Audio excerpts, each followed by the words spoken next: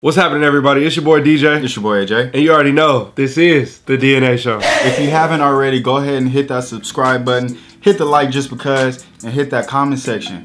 Today, we got a super dope pack. We got the airship, and we got the AJ OG1. Yes, this is about to be fun. Let's get into it. All right, so let's go ahead and start with 1984 before we get into 85. Tell them a little bit about this shoe. Okay, so we got the airship. This is the first shoe that MJ came into the league with. So I feel like uh he was in negotiation with a lot of people at that time. right? Yeah, yeah. So he was in negotiation with Adidas. And he really liked Adidas more than Nike. So he was rocking the airship. They didn't come out with the AJ one yet. So Nike had a few shoes around that time, the Skyforce, the Air Train, and the Legend. And Peter Moore was one of those designers that came in with this shoe right here and tried to make a staple into the new game of designing sneakers. With the white and red version of the airship came the black and red version. Mm-hmm. That version was infamous in the league. They banned it. They said, get this out of here. And this commercial then came along. And so a common misconception with the AJ1 is that the bread colorway was the banned colorway in the Mm-hmm. league. But no, it was actually the airship that was banned.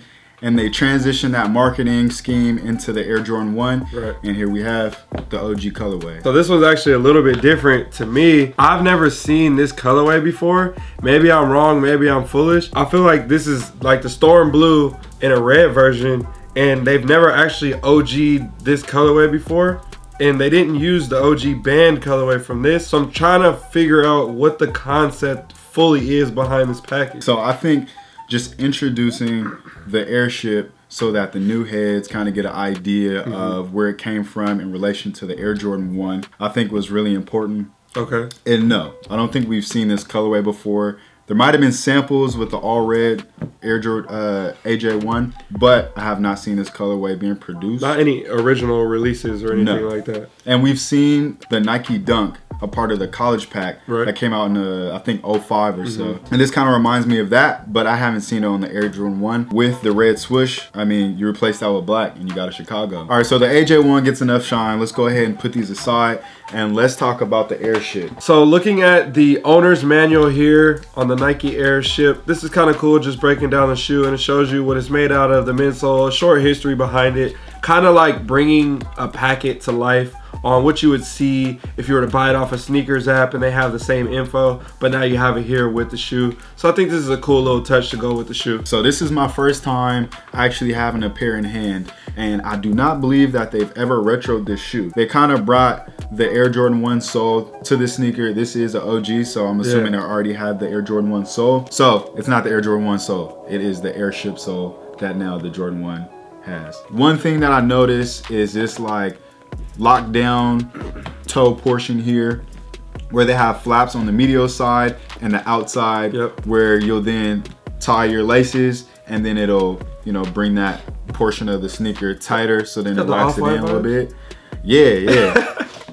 Uh, and then i also realized that the leather quality on these is actually really really really, Really nice. nice. Yes. very soft with the sticker in there on the inside of the foot. So that's a cool little hit as well. Definitely gives you those OG vibes, but then bring you to 2019. So I, I can't be mad at that at all. Not at all. I would have expected for the shoe to be a little higher. I felt like shoes back then Yeah. had a higher cut. Um, but this is high top for nowadays.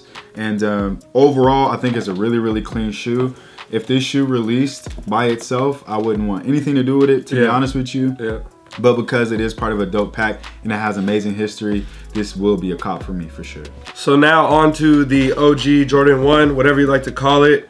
These are actually very interesting. First thing that I can say, I'm disappointed in the leather quality compared to the Airship. Those were very, very nice. These are kind of plasticky. I'm super excited seeing photos of this colorway because we've never seen this colorway before. I'm also super excited because of the OG look that it's supposed to have Yeah, compared to uh, the most recent releases that we've seen. Well, I mean, we haven't seen it since the OG. So, Yeah. um, first things first, I would like to say that the cut, like you were saying, I would have expected to be a little more, to be a little higher, more dramatic. Yeah. Um, and then also, um, as far as the leather quality goes, it's not really what I expected it to be.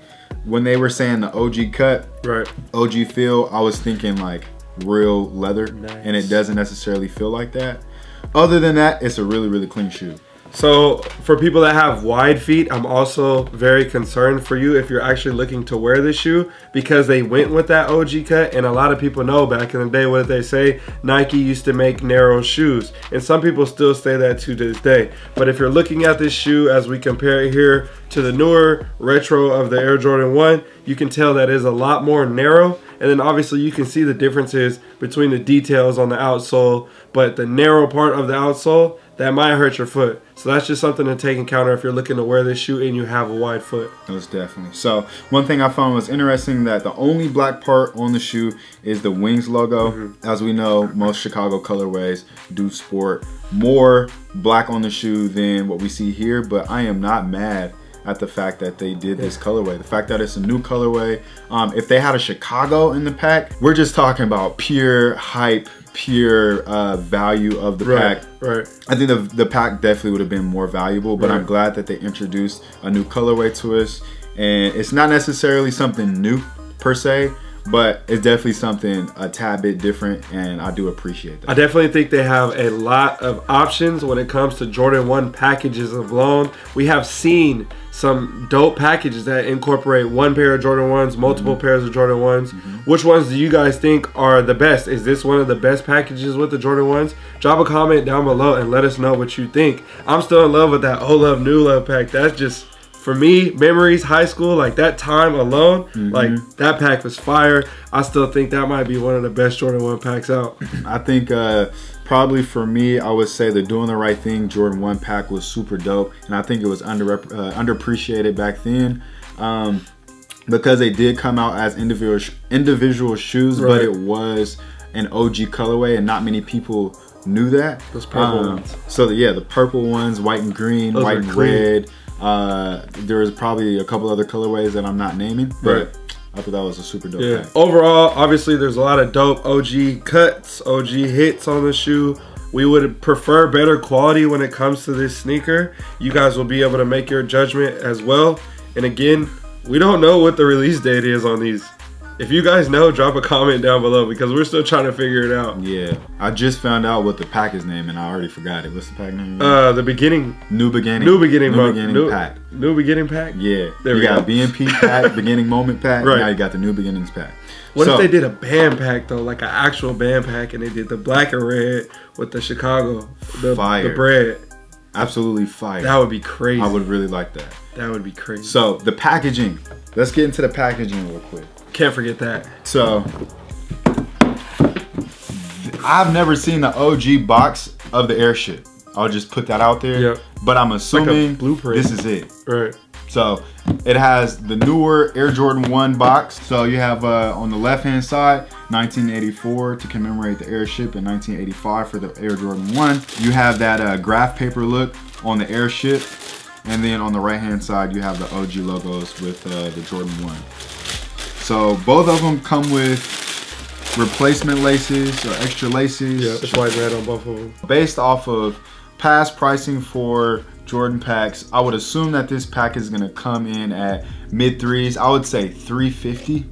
What do you think? I don't know. I'm I'm kind of thinking it might be lower, and they might actually like take care of the people just because it's a Jordan One Mm-hmm. that hits at 160. And this shoe right here, I could see it maybe being like a hundred bucks. That puts it at 260. So maybe like 285, Mm. That'd 300. be great. I I'd think that's a realistic retail price. But yeah, But 350, they could go to 400 and probably still sell. Yeah. So I could believe why you come in with that price as well. I just feel like with the packaging and everything, I think Right. 350 might be it. Okay. So there is no suggested retail price for this pair yet. Um, there's no tag on here, so we don't know exactly how much the price is gonna be. Sorry for Right. that, but that's what my guess is. Hopefully, it's somewhere on the lower end. So. I'm going for the pack though. I need the pack. Yeah. So um, we're gonna have to go ahead and return this one. And in the meantime, I'll be dreaming of this pack. I will rock the air show. I feel like I'll make it work. You know what I can't saying? do Just the white shoe, it, bro. you know? I can't do the white shoe. Do you think the air? Do you think the airship is gonna have any value separate of the Air Jordan One? Like if they split the pack? Just you know, because you, back in the day for the CDPs, we used to like split the packs. You know what Yeah, I'm saying? yeah. If you got the lower number, you was probably better off. I mean, I don't know. I'm gonna pull this one like the Pantone pack, and the 29s wasn't hitting for nothing. I'm gonna say the airship ain't hitting for nothing. Yeah, there's gonna be those OG heads that love it, Yeah. but they'll be able to get it for a good price. That's great. I think everybody will be going for the ones. That's great. That's what I'm thinking. Yeah. And I'm gonna be going for the ones probably just the ones. So what do you guys think about this package? Drop a comment down below. Let us know how you guys feel. Is it dope? Is it not? Is it worth it? Do you know what it's worth? All those questions. We got answers. You got answers. You name it. Drop some comments down below. So I know the OG heads would not mind splitting the pack with the airship going their way, Yeah. and the young heads splitting the pack and the Air Jordan 1 going another way. Mm-hmm. Of course, the Air Jordan 1 is going to be worth more than the airship. But my question is, I wonder if the airship is going to be worth much at all Right. when it's split out of the pack. I'm interested to know what the value would be for the whole pack. We'll see, and it really all depends on how many pairs are being released. Right. I honestly do not think that this is going to be a general release pack. I think it might be really difficult to get. Hopefully not.